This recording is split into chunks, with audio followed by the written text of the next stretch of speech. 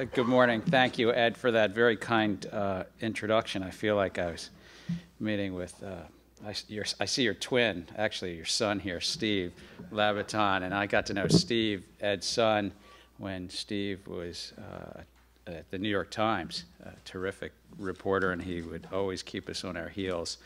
Uh, um, uh, when we were at the Treasury Department, and, and then subsequently through the Sarbanes-Oxley legislation, and uh, when I initially got to the CFTC, he's now working for a small bank in New York that I once worked for.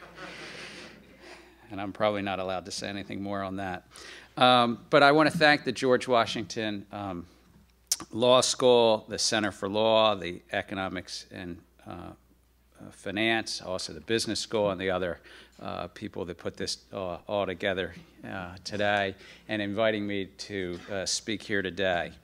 The 2008 financial crisis uh, left us with many lessons, many challenges to tackle. Ed mentioned uh, uh, some of these, of course.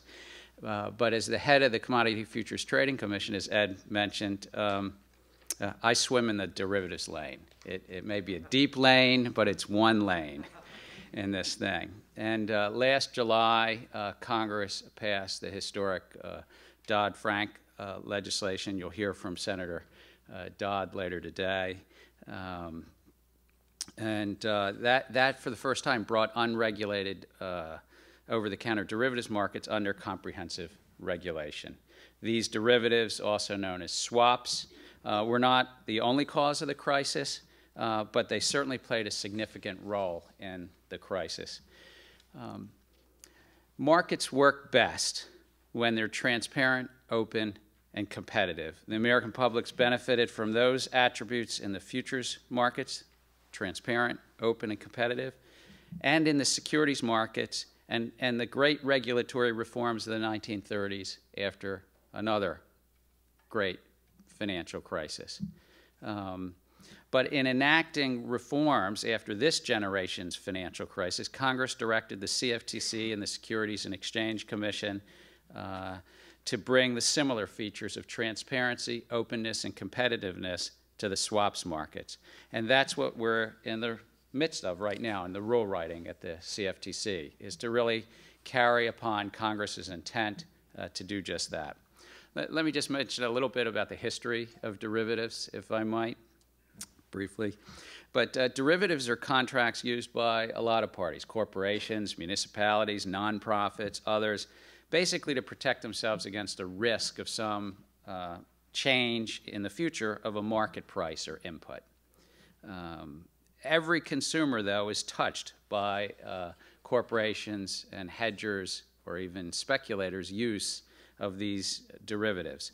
Um, some of the corporations hedge an interest rate risk. Uh, some purchase a project, uh, product from overseas and, and want to hedge a currency risk. Uh, if you flew over the holiday period, you probably uh, uh, were somehow in the price of your, your airline ticket was that that airline was hedging the jet fuel cost um, so that they can, you, you had an assured price and they had an assured uh, hopefully profit margin, uh, at least to protect themselves on the jet fuel uh, cost. And local fuel companies, of course, use derivatives to lock in the price for winter heating oil and, and the like. Um, many derivatives are called futures. Um, these are regulated by the CFTC and have been since the great reforms of the 1930s. But futures are not new. They're, they're standardized liquid derivative contracts They've traded on exchanges all the way back to the 1860s. And they're used to hedge uh, uh, this similar risk to what I just went through. Um, but initially, they were to hedge risk in the grain markets. Uh, they were to hedge risk in corn and wheat and soy. Uh, they allowed farmers, for example, to hedge the future price risk and get the benefit of a transparent pricing market where, where instead of just taking the price of somebody's uh, uh, at the grain elevator, you, you could get the price in, in the central market. In those days, it was in Chicago because the Great Lakes was a great shipping uh, and distribution point. Um, and your, one of your sponsors I saw was even the Chicago uh, Mercantile Exchange.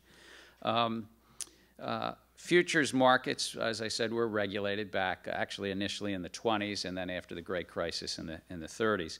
Um, but over the next 60 years, futures trading expanded to cover energy products, financial products, and Congress ensured that all of these products, without exception, had to be traded on exchanges, have transparency, openness, and competitiveness. And this allowed uh, for the great benefits that these features bring the American businesses and the ultimate consumers. Well, things sort of started to change in 1981, and that's when the swaps marketplace uh, started to develop. The first derivatives transactions took place off exchange. That's why it's called over the counter, um, not with the benefits of a centralized exchange. Uh, contracts were negotiated between a dealer and a corporation seeking to hedge a risk. The first was a currency risk, uh, then the interest rate risk started very quickly after that. And in the last three decades, the over the counter derivatives marketplace has grown, as we know. In the 1980s, it was a for a while less than a trillion dollars. Even though that's a big number, it was less than a trillion dollars.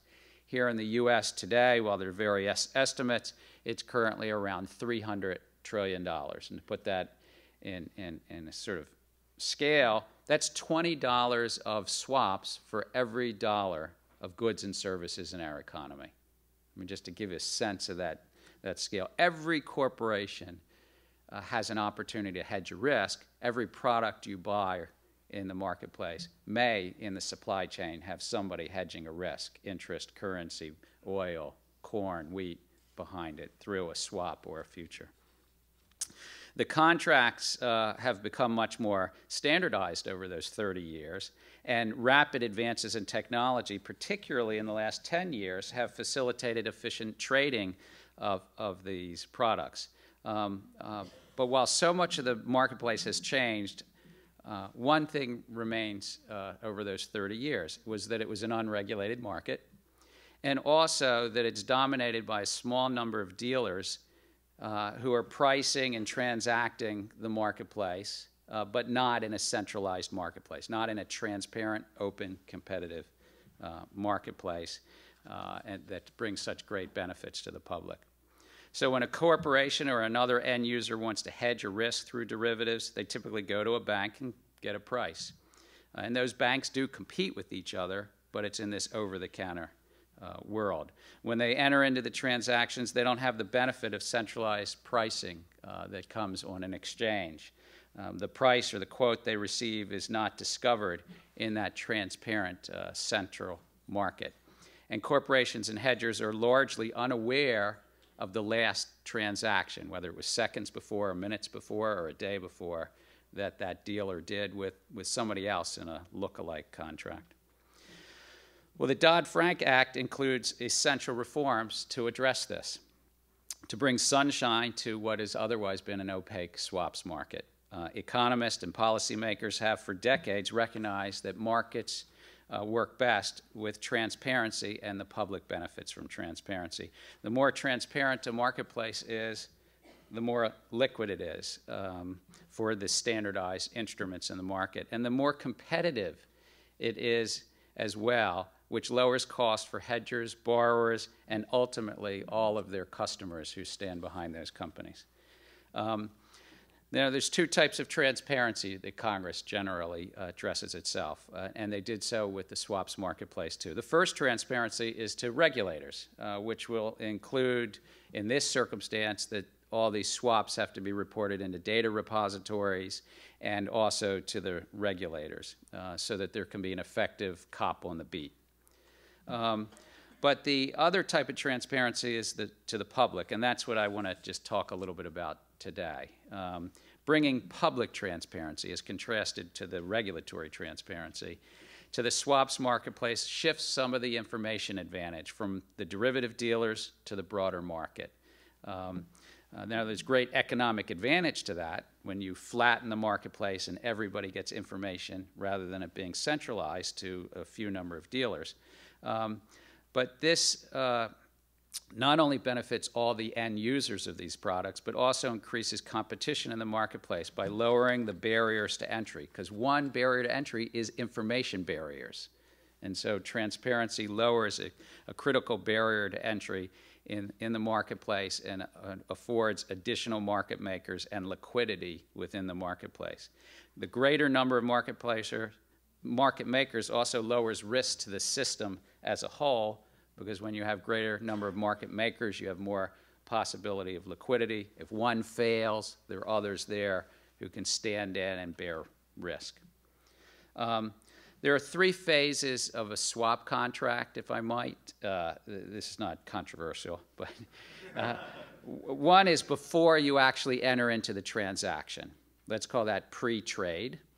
The second is right after the transaction occurs, is reporting information right afterwards. Most people call that post-trade. And then the third phase is during the life of the contract. These contracts can exist for 30, sometimes up to 50 years afterwards. The Dodd Frank Act addressed all three of those phases, and I think in a very thoughtful way. Um, the uh, uh, the um, uh, I'm, I'm gonna, let me walk you through each, each of the areas uh, in that. Um, I'm sure everyone's familiar with exchanges uh, that trade securities and futures. Uh, this is where investors and hedgers and speculators can meet in a transparent, open, and competitive central marketplace. Well, what did Dodd Frank say in this regard? It says that um, just as in the futures exchanges have to meet in a central marketplace, it's, you also have to do that in swaps. So the futures exchanges can now offer swaps, but there's also a new category called swap execution facilities uh, to offer them as well. And these exchanges, the traditional futures exchanges, and the swap execution facilities will provide the marketplace with pre-trade transparency. In fact, the Dodd-Frank Act requires that the standardized swaps, other than for large block trades, uh, have to trade on these venues. And exchanges and SEFs allow buyers and sellers to meet in an open, centralized marketplace. And the CFTC has proposed rules which pr provide flexibility for market participants. They'll have the flexibility to leave firm bids and offers. If they want to communicate with the rest of the market, the rest of the market can, they, they don't, know, they don't need an invitation into the market. They can leave a firm bid. If somebody wants to do a request for quote, meaning requesting somebody's quote, that would be allowed. If somebody wants to leave indicative quotes, which are not uh, executable, that would be allowed as well all embedded in Dodd-Frank, but we've proposed a rule to effectuate that. The second phase, right after the transaction, which many people call real-time reporting or post-trade transparency, uh, Congress addressed that as well and was very specific that market participants and end users should benefit from this real-time reporting. And Congress said uh, a lot on this, actually. They said that uh, this transparency must be, quote, as soon as technologically practicable. Now, in 2011, that's pretty fast. Um, and we all know about Twitter. but in, the in, in, uh, in uh, finance, uh, some of this stuff goes on in, in less than a second. Um, so as soon as technologically practicable, Congress said that, uh, uh, that prices should be out there. And they said that not only for the standardized swaps that might be on these execution platforms, they also said it for all of the bilateral swaps, all of the customized swaps, and so forth. Now, they did say that we should consider some time delays for the blocks, the very large trades, and uh, um, we have to protect confidentiality of the actors and so forth. Uh, so we've proposed a rule on that, and we appreciate anybody in the public's comments on those proposed rules. The, uh, the, the third area is then uh, a longer period of time, a long period of time that th these transactions might be out there. And let me just say some of the things that Congress said uh, uh, with regard to that, in addition to this pre-trade and post-trade period. Um, and uh, let me turn to one of the key chapters of the 2008 financial crisis to highlight why this is so important. When the large players like AIG uh, uh, were coming into some trouble in 2007, in fact. You may have read some of the books and seen. They got into what was called valuation disputes between AIG and other actors in the market. How did you value these transactions that may have been entered into a year before or three years before, but what was their valuation now? And um, the Dodd Frank Act actually very directly addresses the issues about valuation disputes over the life of the swap. And it's not an inconsequential point. There's a very important point to lower risk to the system. What Dodd Frank says is that for cleared swaps, those that could be actually brought to a clearinghouse, the clearinghouses themselves have to publicly say where they are marking their positions every single day. They have to post the settlement prices for those contracts, and everybody gets to see it the whole marketplace the public, the media, everybody. For uncleared swaps, which is more like that AIG circumstance, for uncleared swaps, the swap dealers have an affirmative obligation to provide mid market pricing. That's before their profit or anything. That's the mid market pricing to each of their counterparties every single day as well. So Congress addressed it in both circumstances. We've now published some rules. We look for the forward to the public comment on it on both of these. But these valuation transparencies will help lower risk, but it will also help people price their other products. Because if you can see where the clearinghouses is pricing, or if you're a counterparty, if you have an ex, uh, existing trade and you can see where your existing trade is being priced, uh, then you have the benefit as you consider your uh, ongoing risk. Furthermore, when the swap dealers um, uh, uh, are, are, thinking about the marketplace, there's some other things uh, that they have information on that currently you all don't have. And I will call that aggregate information, aggregate information about the marketplace. So, what Dodd Frank actually said is there's a number of additional things uh, they, they want. Um, They've required that the trading venues themselves and the clearinghouses will provide aggregate information to the market. This aggregate information on a daily basis, how many transactions actually occurred on a daily basis? What are the open interest? So, in addition to pricing, it's also volume volume of transaction, volume of open interest. Also, interestingly, it requires the CFTC once every six months to do a report on the swaps marketplace. Now, I think we might have done this even if Congress didn't ask us. We have a long tradition every Friday putting out aggregate large trader data on the futures marketplace. Uh, it is, is my hope and goal that we can work towards that over a number of years. So Congress is asked to do us once every six months, but we have a long tradition at the CFTC of bringing transparency on a weekly basis to the futures marketplace. And I would hope, with the help of Congress and funding, that we could do that as well over a number of years in the swaps marketplace. The other part uh, of, of my discussion today is I want to talk a little bit about uh, access and competition. Transparency itself helps a marketplace and increases competition in the marketplace, but it's not enough on its own. Another key thing that Congress addressed was access to the marketplace. And without access to a marketplace, uh, you can't really have an open uh, uh, and competitive marketplace. Um, competition is essential to a well functioning market. In passing Dodd Frank, Congress decided that there should be open access to swaps markets in a number of key ways. I'm going to talk about three of those, but it's not all they did. Um, First, in establishing these uh, swap execution facilities, the trading facilities itself, Congress required that the trading platform give multiple market participants the ability to execute an order with multiple participants, what some in the industry have called the many to many requirement. I had one uh, press availability when somebody said if one person could make a bid to one other person, would that meet the many to many requirement? I smiled and I said I didn't think so. I think Congress really wanted it more, more broadly. We've, of course, published a proposed rule. We look forward to comments on that proposed rule um, uh, to bring meaning to those words, multiple participants being able to meet in a marketplace and have the ability to execute with multiple participants. But Congress didn't leave it to, at that. Also, they added language that said um, that the trading facilities have to give impartial access uh, to market participants. And so, what that means, and we've put out a, a, proposed rule on that, is that anybody in the marketplace that is uh, meets the fitness standards in the marketplace, um, you know, they don't have any problems with the law and things like that, and that they're uh, eligible contract participant, which means they have to have a certain net worth. It's not the retail public.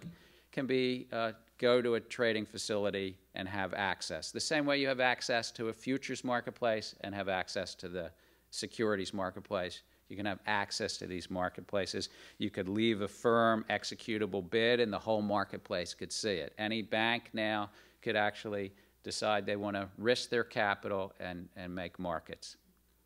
A second area Congress ad- addressed access was clearinghouses. Uh, clearinghouses have existed since the 1890s and they help lower risk to the marketplaces. They stand between a buyer and a seller and take the risk that one or the other defaults. Uh, but what's also important is, is that clearinghouses are open. Uh, again, it's an important central feature of a marketplace, and Congress addressed it by saying that um, uh, that um, uh, all parties should have open access to a clearinghouse. Now, we, we address this through a proposed rule on clearinghouse participant eligibility that we put out in December. And it was to promote fair and open access to the clearinghouses. Um, in the futures marketplace, that's been a key feature for many decades. Um, in the voluntary swap clearinghouses, they have not been mandated. Those have been more exclusive. They've been uh, more limited in terms of their participation. And I think Congress uh, was well aware of that, uh, included a provision for open access. We've brought some uh, more detail to that in the proposal, and again, we look forward to comments on that proposal as well. But it's a really important feature to lower risk to the marketplace that there are more participants in the marketplace. What we said more specifically is you couldn't exclude somebody if their capital wasn't in the billions of dollars and so forth. Uh, you could scale them. A clearinghouse could say the smaller capital you have, the smaller participation. The larger capital could be larger participation. Uh, you could scale folks, but not exclude them necessarily if they weren't, uh, you know, the seven footers in the NBA. Uh, or, in fact, as in some uh, clearinghouses now say, you have to have a trillion dollar swap book or something before you can get in. The third area that Congress addressed open access to promote competition is with regard to competition amongst these trading platforms themselves. They said that a clearinghouse um, needed to have non discriminatory open access to different trading venues. And more specifically, they said that a clearinghouse will have to accept equivalent swaps for clearing regardless of where the transaction was executed. This includes both swaps um, that are executed bilaterally and also swaps that are on an unaffiliated trading facility. What does that mean? That means in the swaps marketplace, it cannot be directed just to your affiliated or vertically integrated trading platform. Um, now, Congress decided to do this in the swaps marketplace. This is not going to be a feature brought to the futures marketplace, uh, but it will, I think, promote competition. So let me just uh, wrap it up. The American public benefits uh, when markets are transparent, open, and competitive. I think any economic study over decades has shown the great benefit to the economy uh, when it is, is, is such. Um, but in the swaps marketplace, that's only really three decades old, uh, we've not had that. It's been opaque. It's generally been concentrated among a small group of dealers. Um, and uh, with this in mind and with the financial crisis, uh, Congress moved forward with this historic act, Dodd Frank Act. Um, and I think it was the intent of Congress to, to really bring diversity and sunshine to this marketplace. In effect, to democratize the marketplace, to make it much broader uh, and more open. Um, and it's our mission at the CFTC to fulfill Congress's mandate and to get this done. So I thank you, and I'm available to take questions. I think I'm going to have a press avail right afterwards, so I'll probably take questions from, from students, academics, and uh, uh, members of the uh, public who came to this uh, conference. And if you can be kind enough to tell me who you are when you stand up to ask a question, just so I know. Yeah, Jared Seaberg with Washington Research Group. I I find it fascinating, it seems like much of what you're talking about is to try to give the commercial users of derivatives a, a better deal, a more competitive price, more transparent, uh, sorry. Uh, it, it seems like much of what you were talking about is to try to help the commercial users in the sense of more transparency, uh, better pricing, and everything. Yet the commercial users fought successfully to get exempted from much of this. Can you explain what's going on here? Sure. Um, I, I believe strongly that markets work best when they're transparent, open, and competitive. Um, and I think the economic research is clear on that. Um, but there was one feature in the, in the debate is to the benefit of lowering risk through clearinghouses, um, which I didn't address directly in my remarks. But clearinghouses, which have existed for about 120 years, um, lower risk by standing between buyers and sellers, but they also lower risk by saying that on a daily basis you have to post money called margin. It's for the lawyers in the room. It's like a performance bond that if you fail, if you default the next day, uh, the money is there. And that was the central feature that uh, the commercial end users uh, sought and uh, received from Congress uh, an, uh, an exception. It's called the end user exception. About 9 or 10% of the overall swaps marketplace measured in notional value is between swap dealers and these end users. 90 or 91% of the market is between dealers and dealers, dealers and insurance companies, dealers and hedge funds, and so forth. So Congress said for that 90% or so, that has to come to the clearinghouse.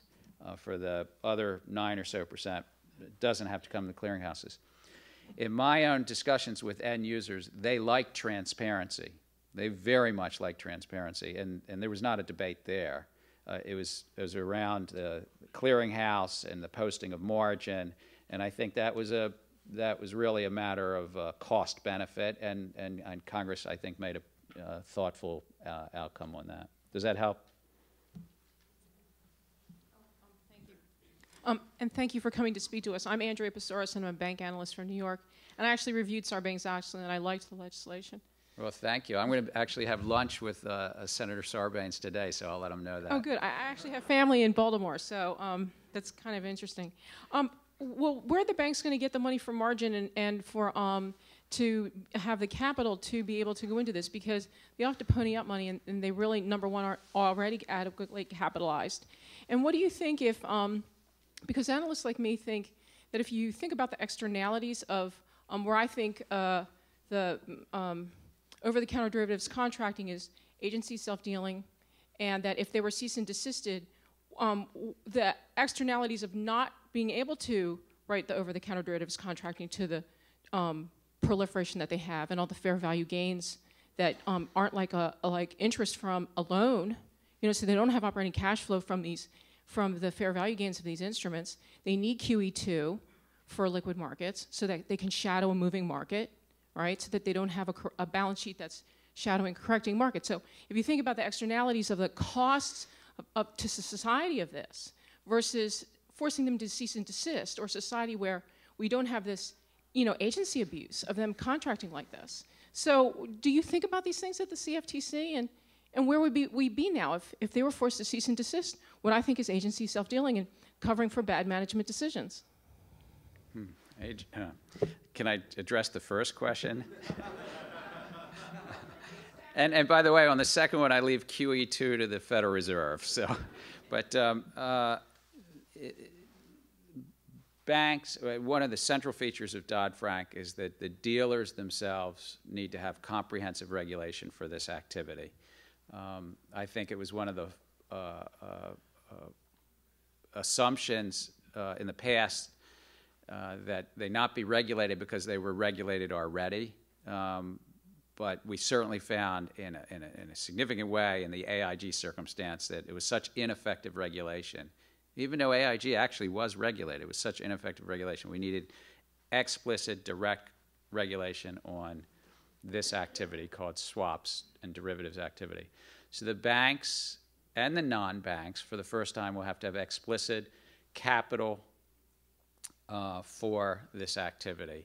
You know, the banking regulators, the Federal Reserve and others will do that for the banks, and the SEC and the CFTC will do it for the non-banks, the setting of the capital. But to your question, I think it's it's uh, far less costly to the American public that the banks have the capital, have the cushion there for that activity, and that that's important. I agree, but they actually don't even have that right now.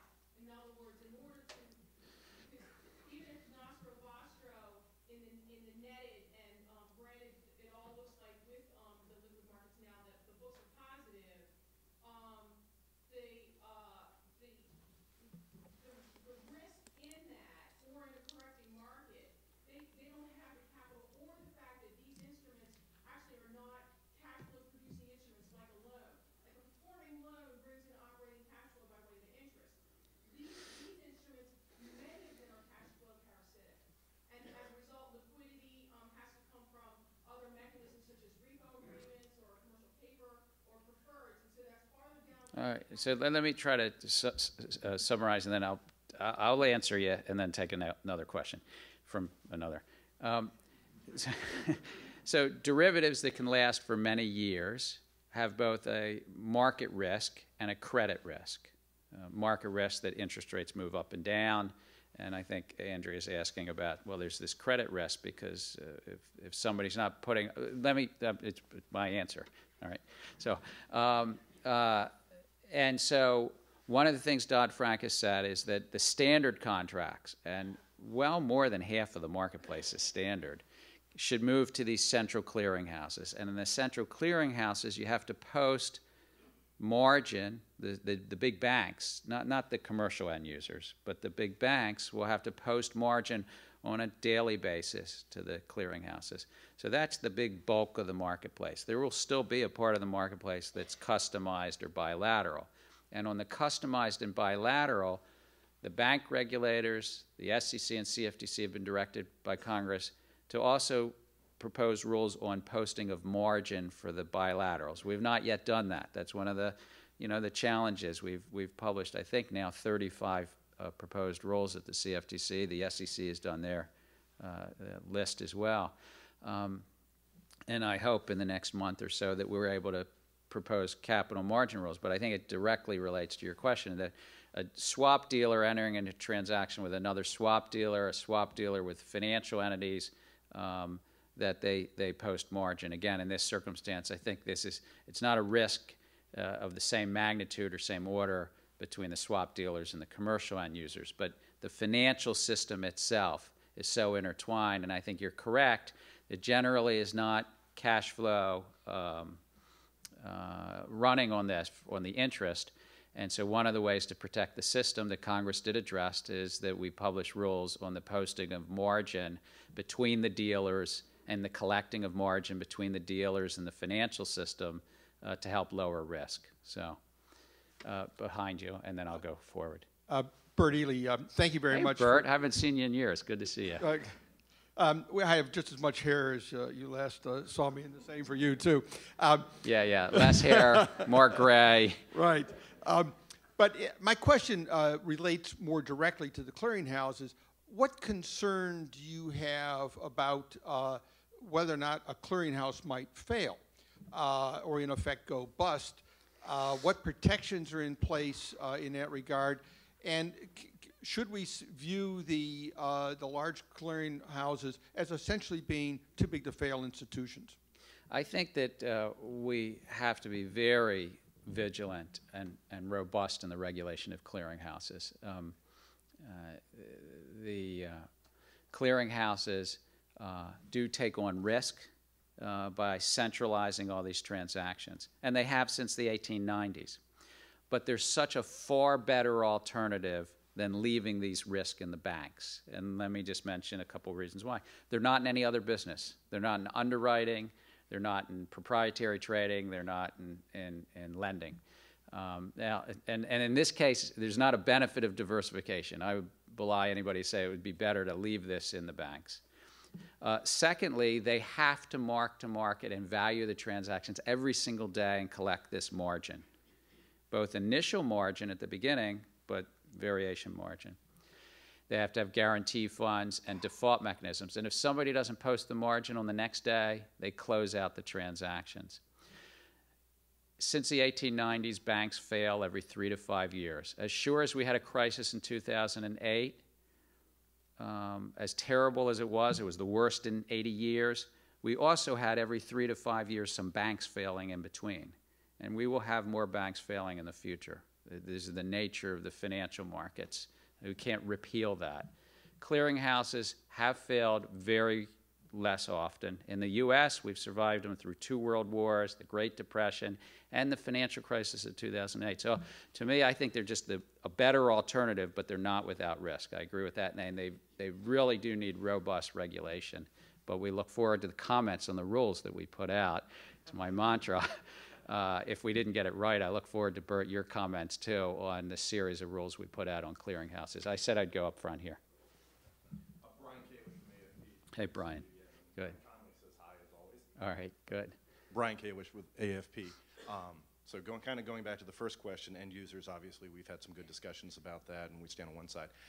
I just wanted to address, and it was actually in the press yesterday, the fact that financial institutions, those that weren't exempt uh, from the end user, uh, are now beginning to lobby CFTC uh, specifically about how they might be included in that, and I just wanted to get your comments on that. Since it was, I Well, I, I, I didn't read the particular article that you're, to which you're referring, but I think that Congress uh, uh, addressed this issue and, and addressed it looking at uh, a, number of things. Uh, one is approximately 90% of the marketplace, we don't have terrific statistics, but approximately 90% is between financial entity and financial entity, and about 9 or 10% is not.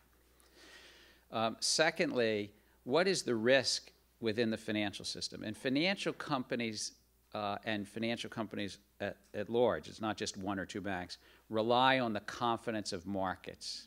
And in crisis, there are runs. In that great 1946 mov- movie, It's a Wonderful Life, we think of George Bailey and the George Bailey Savings and Loans. Everybody know the movie? Yeah, yeah, okay. Even the students? No. All right. Good. Good. Good. Good. All right. So, but uh, you know, and George is there, and and he's got the run on the savings and loan, and he takes the honeymoon money, and you you, you know the whole story. Um, well, the modern run on the bank is the run on the shadow banking system. It's not banks. It was uh, mutual funds, money market mutual funds. It, it was uh, uh, something called prime brokerage between the hedge funds and the banks and the investment banks. So our financial system is so intertwined. And in AIG, the first $90 billion that went into AIG, we've all read about it, about 60 billion went through AIG to other banks. It's the interconnectedness of this financial system. It's why I feel uh, I was an advocate for, but I think Congress got this very right, that we need to have the financial actors, not just the banks, but also the hedge funds, insurance companies, and so forth, in uh, these clearinghouses for their standard transactions to lower risk.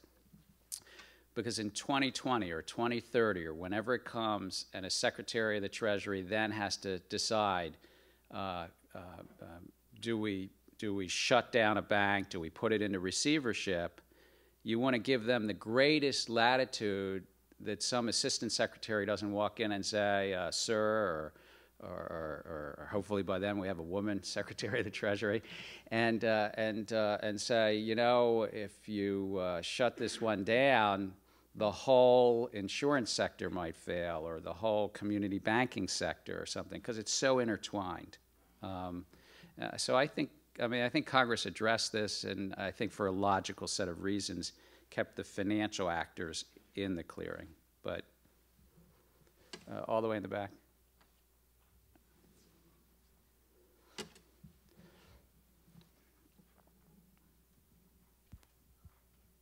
Good morning, Mr. Chairman. Uh, my name is Parisa Mantegi. I'm a second year uh, law student over at GW. Great. I have a little bit of an administrative question for you. Sure. Um, after 9 11, we saw one of the criticisms of the executive being that we had 19 intelligence agencies and it was unclear who was talking with whom, who was doing what, who was in charge of what responsibilities. Now, with Dodd Frank, to what extent do you think agency turf wars with the CFTC and the SEC, and you have the Fed and the Federal Trade Commission and the FDIC and the new Consumer Protection Agency. To what extent do you think uh, there may be gaps in terms of uh, uh, enforcement of Dodd Frank moving forward? And you know, at least in the intelligence community, it's 10 years later, and they're still dealing with these same types of problems. So, what are you doing as the head of, of this agency to at least minimize problems that might arise from? Uh, It's a great question. It's a challenge of government around the world, um, and, and of financial regulation specifically. Um, uh, The CFTC is a small agency. We're only about 680 people, and we only this past year got back to our, our weight of 1999. We were actually shrunk down to the 430 weight uh, uh, during the prior administration. I mention that not to advocate for budget, which I'll always advocate for budget, and resources, because we are sorely in need of that. But I mention it because we have a, a large and, and long tradition of leveraging off of others. so internationally, we enter into a bunch of mutual uh, recognition agreements and uh, memorandums of understanding with international regulators. Here domestically, our, our closest working relationship was with the Securities and Exchange Commission. And it's not to say that we don't have differences. And uh, uh, you know, sometimes I'm on the phone with uh, Mary Schapiro, and and and uh, we have have differences.